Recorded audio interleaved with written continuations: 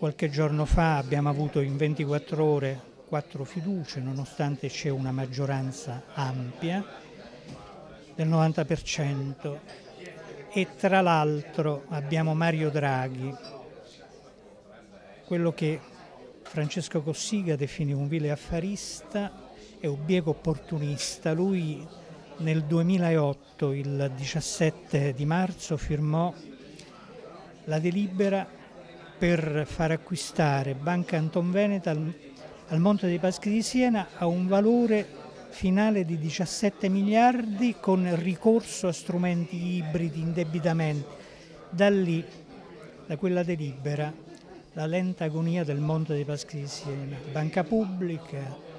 E perché fece quella delibera? Perché? Perché è un biego opportunista, perché non voleva disturbare il groviglio armonioso di Siena, Stefano Bisi, il capo della massoneria, per non pregiudicare quella che era la sua ambizione, andare a fare il presidente della BCE. Adesso la sua ambizione è quella di andare a fare il presidente della Repubblica.